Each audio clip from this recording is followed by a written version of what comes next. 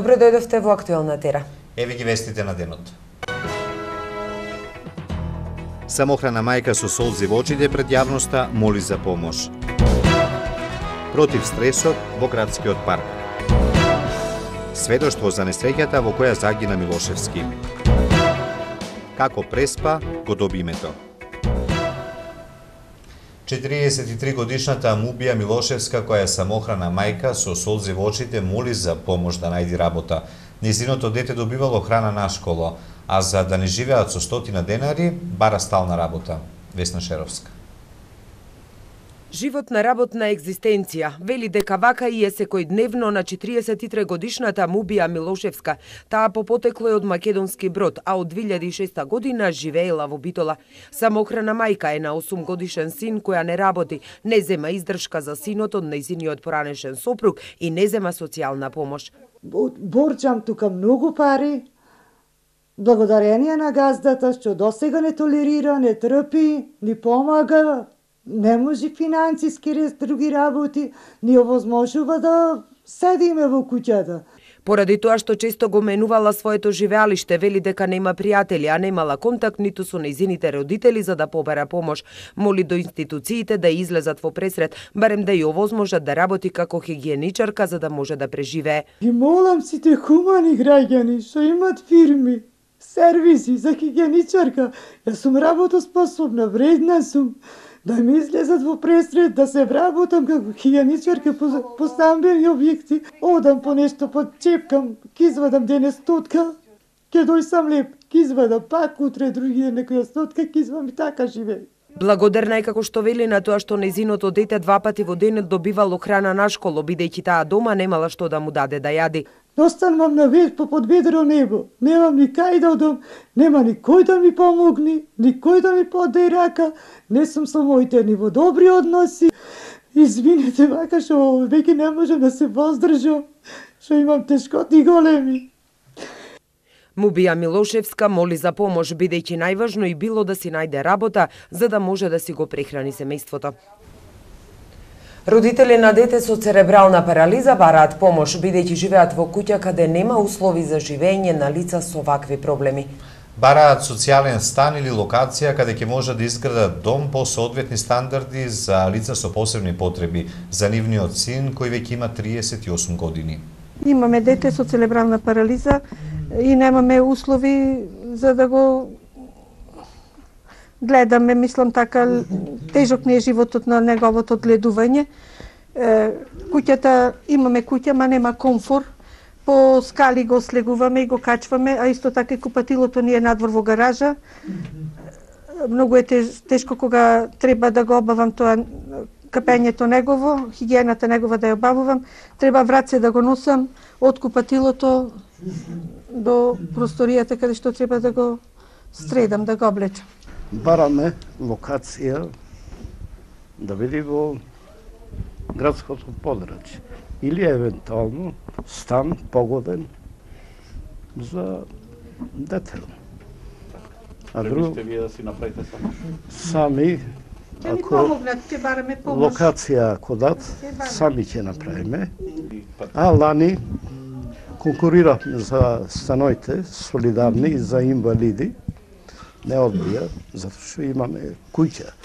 А куќата нема комфорт. Се гледа за обдржување на ова дете. За детево не е погодна. 10 часот наутро, нашата камера во градскиот парк. И не, не е празен, туку на патеката има луѓе кои секое утро го започнуваат со прошетка. Против стрес, но и заради многу здравствени бенефити. Маја Богоевска. Градскиот парк во 10 часот наутро. Природата пред неколку часа се разбудила и, иако во градот, сепак подалеко од градската врева. Звукот на птиците, ветрот, лисијата. Ова чувство, многу мина битолчани сакаат да си го доловат во утринските часови и затоа, доколку се решите на прошетка, нема да бидете сами. Рутата е следната. Широк сокак, патеката на градскиот парк, па се до Тумбе кафе и назад. И потоа, како нови, Зошто? Затоа што многу истражувања досега покажале дека пешачењето и секојдневните прошетки се здрава навика, која е најдобар и најздрав начин за одржување на добрата физичка кондиција, намалување на стресот, но и продолжување на животниот век. А тоа ни го потврдуваат и оние граѓани кои ги сретнавме во паркот. Некогаш по еден сат, некогаш по пола сат, зависи од како имаме работа дома и така. Бајрот живеам на Караорман 29 до овај ресторанот тука. Секој ден пешачење? Секој ден по 4-5 километри прам. Јас имам стентој, два стентој вградено и препорачано ми е да пешачам, да се движам. Гледам секој ден што одам дека доста луѓе се движат одат. Посебно овде кога ги гледам и то истите луѓе. Повеќето за здравје и пензионери сме, сега имаме слободно време. Да сме се движиме и така мора секој да го ден. исполниме времето. Да препорачуваат и доктори и Докторите препорачуваат повеќе? Да, да, повеќе пешачи. Пешачење, колку се може повеќе движење. повеќе аспекти. Полојна сат во текот на денот повеќе, така према приликите. Секоја минута пешачење може да ви го продолжи животот за една и пол до две минути. И не само што се намалуваат килограмите, туку и самите доктори на хронично болните пациенти им препорачуваат да одвојуваат барем 30 минути три пати во неделата за прошетка. Помага при снижувањето на крвниот притисок. Пешачењето го изострува умот. Одлично е за здравјето на коските, го намалува ризикот од мозочен удар, го подобрува расположението, односно ги намалува чувствата на депресија. Затоа ако досега пешачењето не ви било приоритет, а сте се решиле да започнете, направете го тоа постапно. Се разбира, консултирајте се со стручно лице или вашиот лекар предходно и нивна препорака во зависност од вашата здравствена состојба. Но она што го забележа нашата камера во паркот е дека во утринските часови ретко може да се види некој помлад, претежно се повозрасни лица. Но колку овој брз начин на живот ни дозволува нас да си одвоиме барем 30 минути за една прошетка. Заради здравствените бенефити, може би треба да подразмислиме за тоа. Дали работните обврски го прават своето или стегата на нашето секојдневие. Светот не познава и препознава по многу работи, од ајварот и зеленчукот до природните убавини кои ни ги дарило под небието. Оливера Михајловска. Мали сме како земја, ама секаде не има. Не оти негде на друго место нештото го нема, но нас не одвојува тоа што знаеме да раскажуваме. Денеска ќе ви раскажам за нешто што сигурно сте го виделе, ама не знаете кои легенди се вртат околу него. Островот Голем град во Преспанското езеро. Приказната почнува вака. Царот Самуил имал керка Преспана која живеела во крајбрежното село Царевтвор. Била надалеку позната по својата мудрост, убавина и храброст. Кога разбрал еден византиски дворјанин, според некои преданија цар Васили решил да ја побара нејзината рака. Кога дошол по неа, не сакајќи да стане сопруга на противникот на нејзиниот татко, Преспана се фрлила во езерото. Од тогаш до ден денешен, тоа езеро се вика по неа Преспа. Една друга легенда вели дека крали Марко, додека се шетал покрај Преспанското езеро, посакал да го види и езерцето Мала Преспа. Се качил на еден камен и така силен, на него оставил отпечаток од стапалото.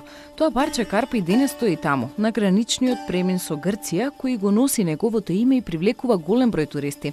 Велат, ако го ставите своето стапало, ќе забележите дека Марко сигурно носел обувки барем со број 90. Она што овој пуст остров го поврзува со давнешните времиња, се предпоставките дека во античкиот период тука живеело македонското племе Орести, за кои сведочат ископаните гробови на свештеници. На островот постоел континуиран живот од 20 на века и манастирски живот кој се одвивал од 10 до 14 век.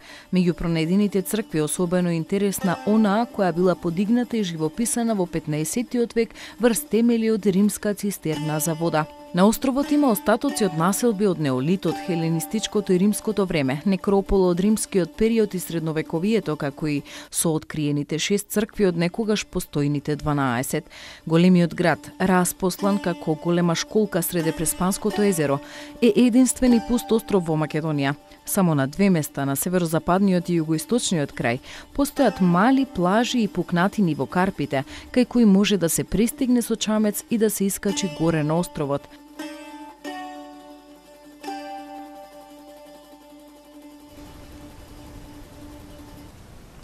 Возачот на джипот УАС кој учествуваше во страотниот судар во кој загина Петар Милошевски, директорот на фудбалската репрезентација на Македонија. Во изјава за утрински вестник вели дека возел на својата страна. Сведочи дека автомобилот во кој биле представниците на фудбалската федерација на Македонија со огромна брзина возел на неговата коловозна лента. Маја Богоевска. Возев бавно, 50 на километри на час. Алкохол не пиев ниту тогаш, ниту никогаш. Джипот ми е технички исправен, се функционира на него. Се држев на својата страна, само што се приклучив на патот кон Нагоричане. Си одев дома во моето село Малотина. Автомобилот во кој биле представниците на Фудбалската федерација на Македонија со огромна брзина дојде на мојата коловозна лента. Немаше шанси да го избегнам судирот. Инстинктивно се наведнав, следното што го паметам беше кога ме пренесуваа во брза помош.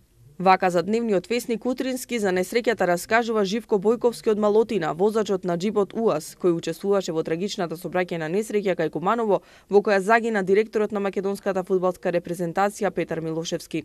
Во интервјуто напоменува дека се невистини гласините дека джипот не бил осветлен, уште помалку пак дека вртел лево преку две ленти. Тој за утренски изјави дека цел ден бил во Свети Николе, а на враќање застанал да го види зетот чија куќа била на 300 метри од местото на несреќата и само што се спуштил на регионалниот пат кон Нагоричани приклучувајќи се од десниот спореден пат. Джипот УАС, уште и натоварен и да сакам не може да развие поголема брзина од 60 км на час. Згора само што почнав да возам, само што се приклучив на патот кон Нагоричане. Светлата ми беа запалени, каде би возел во таа темнина ако не работат. Апсолутно не е точно дека сум се обидувал од најкрајната десна страна да преминам сосема на левата страна и да свртам на патот кон Свети Николе. Каде би одел таму? Си одев дома, мојот пат водеше право и само право. Судирот се случи за миг. Јас видов дека автомобилот од спротивната страна се движи многу брзо. Пред него имаше друго возило. Пежото претекнуваше, возачот веројатно изгубил контрола и дојде на мојата лента. Си реков готово е, ке ме удри. Се наведнав долу. Вели Бојковски за утренски. Случајот е во рацете на Кумановското јавно обвинителство. Истрагата која е во тек ќе го каже последниот збор за причините за трагедијата кај Куманово. Нова акциска контрола на битолската полиција. СВР Битола за време на изминатиот викенд во времето од 00 до 4 часот наутро на подрачето на Битола Прилеп Демирхи Сариресен спроведе регионална акциска контрола откривање на возачи кои во сообраќај на пат управуваат моторни возила под дејство на алкохол, при што од страна на сообраќајната полиција санкционирани се 42 учесници во сообраќајот за сторени прекршоци од законот за безбедност на сообраќајот. Од исконтролирани 252 возила и возачи констатирано е дека 25 возачи управувале возила под дејство на алкохол. Потоа 6 возачи управувале возило без возачка дозвола, а кај 5 возачи констатирано дека управувале нерегистрирани возила.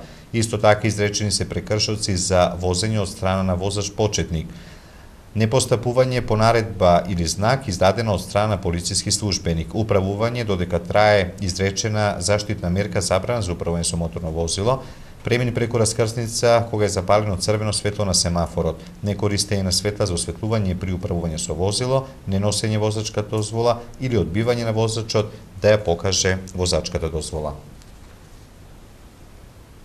За изборите во наредната најава. Дали малите партии се проблем за големите? И за други настани од предизборието покусата пауза, останете со нас. Вашето мислење нам ни е важно, затоа што Тера телевизија е на страната на гледачите. Искажете ги вашите ставови на нашиот веб портал tera.mk. Прашањето за оваа недела гласи: Колку време дневно посветувате на изборите? Неколку минути за да се информирам, неколку часа отиследам се. Не следам ништо. За резултатите од анкетата читајте на tera.mk или гледајте во вестите на Тера телевизија.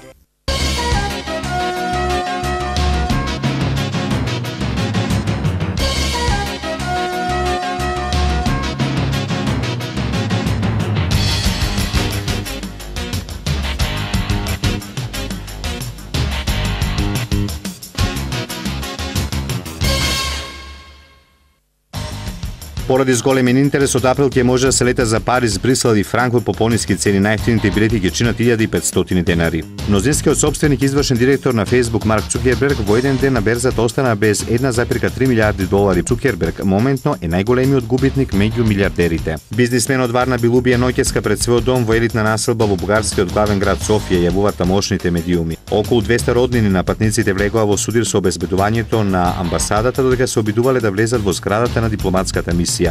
Лидерите на Г7 ја предупредија Русија дека ќе се соочи со економски санкции доколку продолжи да ја дестабилизира Украина по анексијата на Крим.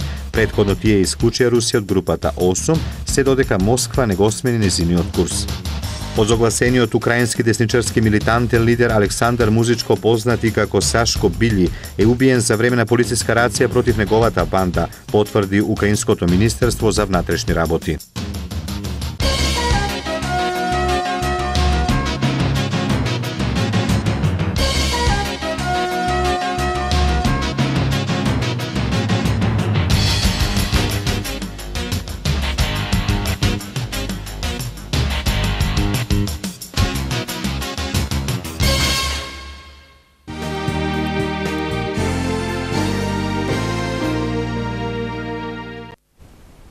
ВМРО ДПМН да и предизборниот караван го почна синоќа од Охрид.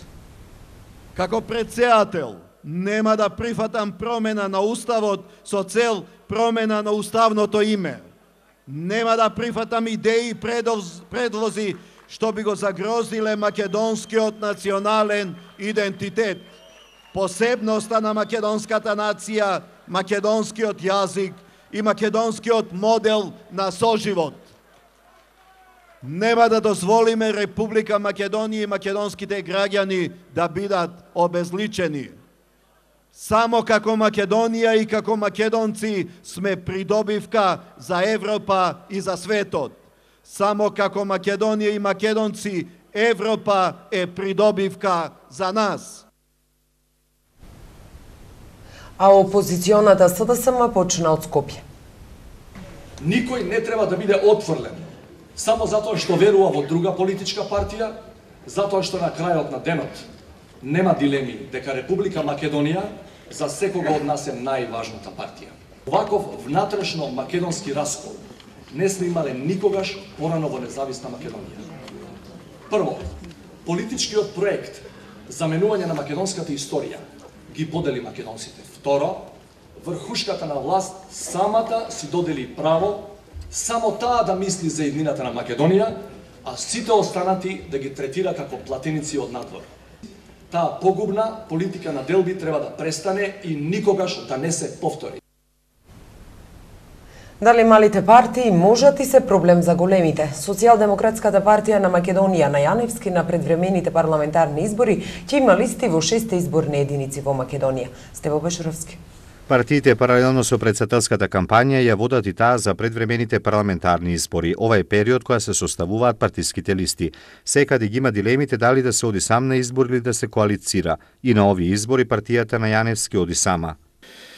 Ова партија, Социјалдемократската партија го отвори плурализмот и ова партија значи нешто за Македонија. Со својата објективност, знаење, искуство, ние сакаме со свој труд, со свој пот, да победиме, да видиме пратеник, не како други помали партии, ние сме средна партија, кои милуваат да се приклучат кон двата блока и да размислуваат да сањаат ноќе на кој на која листа ќе бидат ставени. Не се понудиле за коалиција, вели тој. Зашто не? Тие треба да оценат. Тие треба да оценат. И Груевски и Заев треба да оценат дали на вистина преградката на социјалдемократската партија таква каква што е, а каква е таква е, колку се толку се токму ова партија, тие треба да оценат. Ама, ама разликата е во следното, што ова партија држи до принципи. Ако порано имале листи со имиња слични на оние кои ги има СДСМ, прашањето кое често се поставува е дали не стравуваат од обвинување дека може да бидат обвинети за збунување на гласачите. Да, А зашто обратно не може да се постави, постави прашањето? Зашто СДСМ не ги збунува гласачите на СДПМ? Во нас не има како Либија, како Социјалдемократската партија, која е предходно регистрирана, од која учеле сите партии ги користеле програмските обредби, статутот и така натаму и така натаму, го отвориле, ова партија го отвори плурализмот, ова партија кажа што е тоа демократија, мислам дека треба да не постои таа партија, ако навистина зависи од социјалдемократската партија, или да се договориме, да се договориме, тоа е добро, бидејќи ние сакаме социјалдемократијата да се развие во Македонија. И ние обстојуваме на тој план, имаме голем допринос на тој план, зошто да не се здружи таа партија за, заеднички со прогресивни снаги, со прогресивно мислење, со залагање, со објективен пристап, се што е добро да се пофали, се што не чини да се предложи мерка. И за овие избори одат солисти во сите шест изборни единици. Комисијата за спорт на Битолската ВМРО ДПМН денес имаше пресконференција. Со новиот акцијски план до 2016 година е предвидено формирање на училишни спортски клубови во секое основно и средно училиште, во кои ќе се вклучат најмалку 100.000 ученици, што е за три пати повеќе од предходните години. Ваквата политика се спроведува и на општинско ниво, каде што Советот на општина Битола за три пати ја зголеми ставката училишен спорт во буџетот за 2014 од 320 на 960 000 денари. Ветеното вложување во спортски сали, фудбалски и тениски игралишта, како и поддршката и стипендирањето на талентираните спортисти продолжува да се остварува. Но не само нешто е ветено. Почна да функционира и спортска академија за млади фудбалери, кошаркари, ракометари и тенисери, која не беше ветена. Од септември во Битола ќе почне настава во две дисперзирани паралелки за фудбал и ракомет – во кое талентираните млади спортисти ќе бидат обучувани од тим од шестмина врвни спортски стручни лица. За ВМРО ДПМН вложувањето во спортот е директно вложување во младите. Иницијатива на Државната изборна комисија за прекршочна постапка против Иванов – Актуелниот председател и кандидат за иден председателски мандат Ѓорге Иванов со својот отчет на 14 март пред време ја почнал изборната кампања, поради што Државната изборна комисија ќе покрене иницијатива за прекршочна постапка против него, бидејќи на тој ден била утврдена листата за кандидати за председател. Ваквата одлука членовите на ДИК ја донесоа со просто мнозинство, односно со 4 гласа за и 3 гласа против, со што го прифатија приговорот поднесен од страна на СДСМ. По однос на другата представка од СДСМ, во која било наведено дека ВМРО ДПМН го прекршила изборниот законник и предвреме почна со кампањата. Членовите со два гласа за и четири против се изјаснија дека во овој дел немало прекршувања бидејќи во тој момент немало листи со претенички кандидати.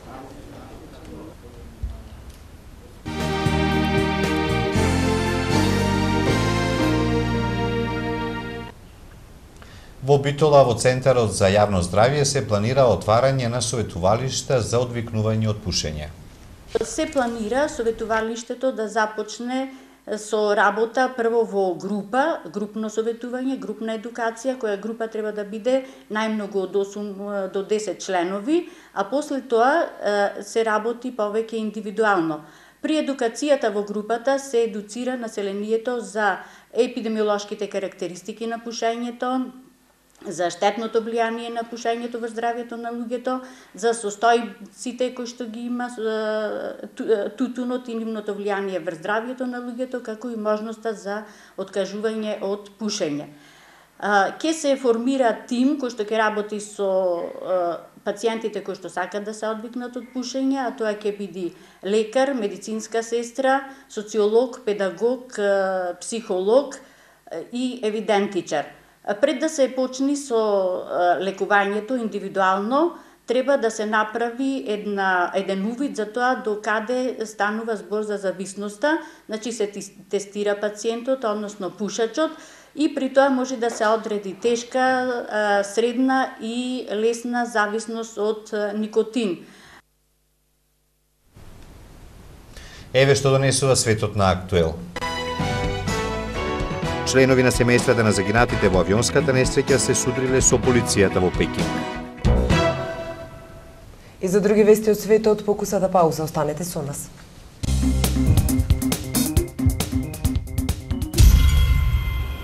Ретроспективна изложба по повод 69 години од основањето на Народната универзитетска библиотека Свети Климент Охридски.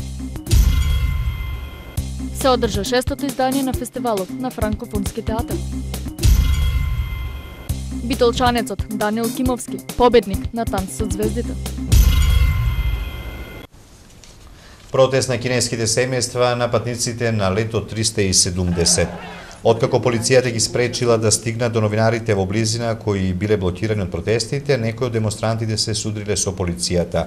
Лути роднини на патниците од исчезнатиот малезиски авион протестираа пред малезиската амбасада во Пекинг, додека потрагата по авионот беше суспендирана заради лошото време.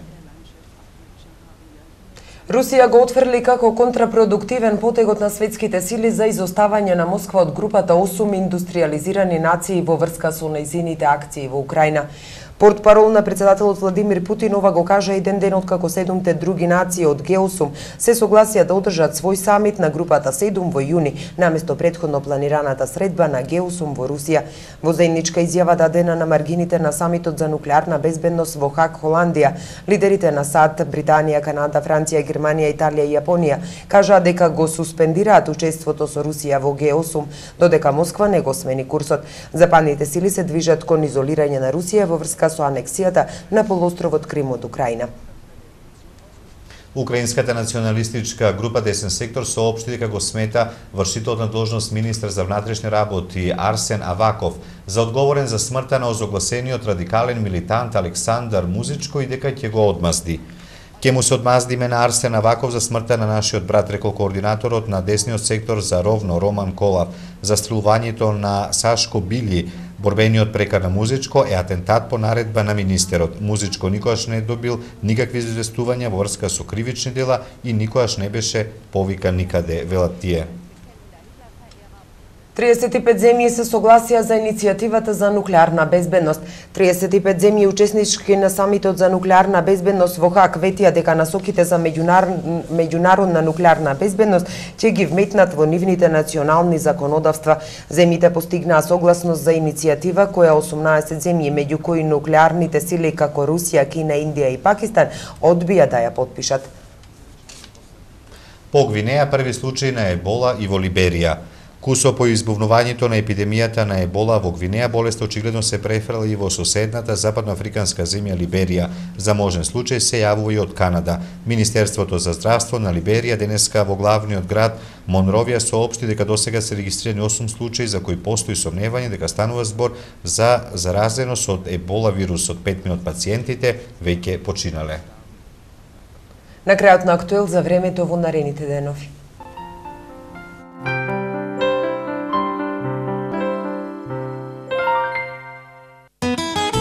Какво ќе биде времето утре во Европа?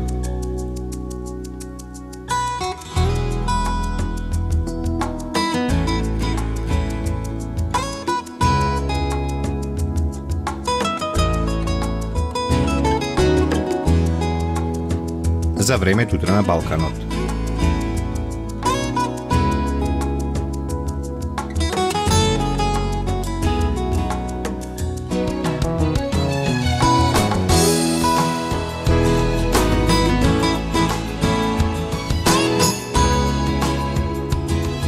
Ќе биде времето утре во Македонија.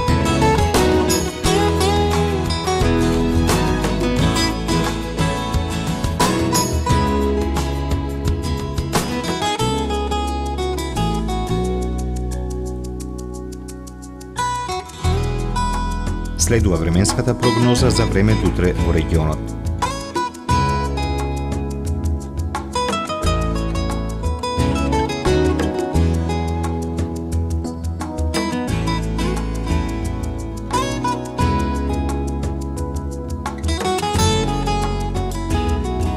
Какво ќе биде времето утре во Битола.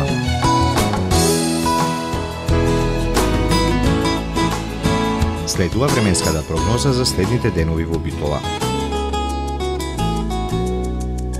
Какво ќе биде утре времето во Ресен? Следува временската прогноза за следните денови во Ресен.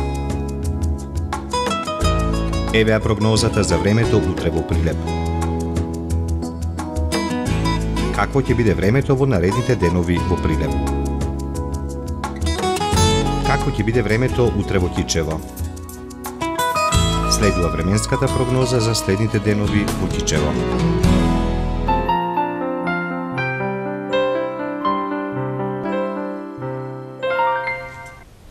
Тука е крајот на актуел. Пријатно.